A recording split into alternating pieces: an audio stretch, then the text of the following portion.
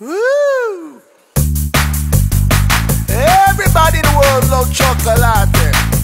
Mmm, we love it. It makes you happy. Yeah, it gets you